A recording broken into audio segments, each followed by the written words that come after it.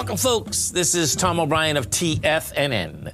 We go five days a week. We go seven hours a day. We go 24 hours a day in the internet at TFNN.com. Always remember, folks, whatever you think about, you bring about. Whatever you focus on grows. Hope everyone's having a great day, safe day. Let's make it a great night, folks.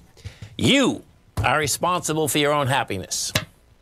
Happiness never comes from outside of you. You put your happiness into someone else's hands, they can take it away. Happiness can only come from inside of you, and it is the result of your love. Market wise, let's take a look at it out here. We have the Dow Industrials down 549, Nasdaq off 185, S&P's down 65. Gold contract down $32, trading at 18.21 an ounce. We have silver down 92 cents, $20.65 an ounce. Light sweet crude, $106.33 a barrel. Notes and bonds. The 10 year note up 21 ticks, trading 119.30. 30 year up a full point, plus six ticks at 140.26 in King Dollar. King Dollar's taking off, folks. This is wild, man. King Dollar's up 984 ticks, 104.830. Euro is out here at a price point of 103. Yen is out here at 128. British pound is at 121 to 1 US dollar. Our phone number is 877 927 6648. Give us a call, folks. Want to know what's going on in your world. In the world of the S&Ps, let's take a look at them. What do you have? Well, bottom line, you got a market that people keep buying. And, and let me just show you this. Here, this I just start off this with... Uh, I'm going to start this off with the arms so I can just show you something that we never should have right now. So this is the arms index, folks. See this? When you're looking at this, you get a 0.74. Um, and yesterday was a 1.10. What that's telling you, when you get to a bottom, folks, right? What happens is that normally, see at 2.13, what you need for a bottom is this. Inside of these five days, you need something that's running 10 to 12 if you add them up. You normally get a 2, 2.5, 3 point, no, 2.5, 2.1, 2 point thing, and then like a 4 point something. What has happened here is this. Even though we have come down so dramatically, people are buying, man. That's what this means. When you have a 1.04, so check this out, a 1.04 and a 1.10 means that the same amount, all stocks inside the NYSE were getting an equal buy. A 0.74 means that everyone is going after the Microsofts of the world again. Okay? That's not what bottoms come down to. Sad. It's this is insane. But that's how it shakes out. We go over to the SPY, we take a look at the SPY out here. You got you know, it came down with volume yesterday at 386. You bring this up. We're going to put these on. You want to put all of these on weeklies now because what we don't have, folks, and we didn't have, you don't have any support, man. You know, it's like, I mean, you wouldn't even have to, you know, know technical analysis. You know, you're coming into a little bit of support right at this point, and that's bringing you back to, uh, what is that, March of 2021. But what you have there, when you match up this side versus the other side, this is telling me that this thing's coming all the way back down here, which is, that's 358 that would make sense because a 1 to 1.382 is 366. So this thing is relentless. The NDX 100, you know, it leads up, it leads down.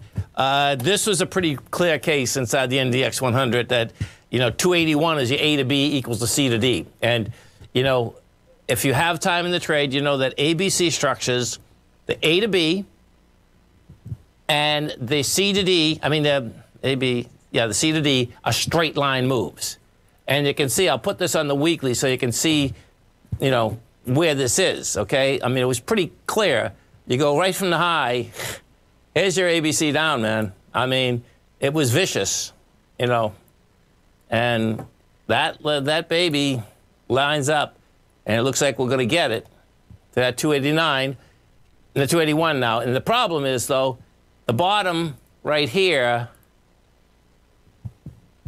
is at 260. So the, the, the highs of the next consolidation are 290, but because we already broke into 290, what happens is that you're going to go to the bottom of it.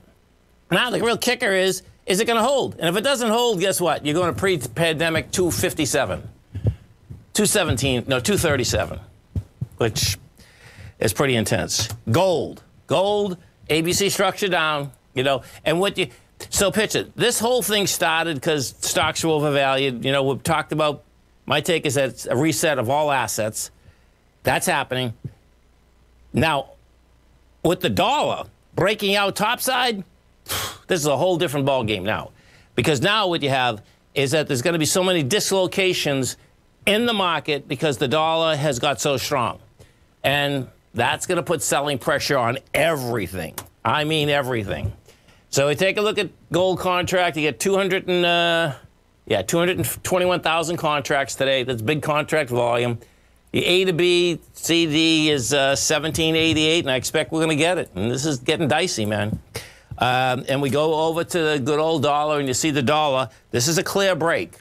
Now, it doesn't mean that you can't have a failure, but what I've found is this, and you know we've been talking about this, that the longer that you stay at highs the longer you stay at lows, it works the same way, folks. Okay, the higher the probability is that you are going to break topside if you stay at highs, and at lows you're going to break lower. Well, this is pretty clear. I mean, you can see what happened here. You get the wide price spread. We don't have volume on the dollar or any type of currencies whatsoever. Um, so it's a little bit tougher. For me, it's a little bit tougher because I'm so hooked with volume and price. So if we take a look at, you know, where we are, we just broke, and you're talking about a major break, man. I mean, that's there's nothing. So when we take a look at this dollar, what you're going to see in the, the ironic part, of course, is I started the gold report right when the dollar was 120 to 121. And this is 22 years later. And guess what? The dollar is going back to visit its old friends. You can see the break here. And because we came down so fast on the dollar, that as you go up, that's what ends up happening. You know? And then if we measure this consolidation, the top of it's 103, the bottom of it is 88. Okay, so you take uh, 15 points, you add it to 103, bingo, you got 118, man. 121's the high. We're going to the high. Stay right there, folks. Come right back.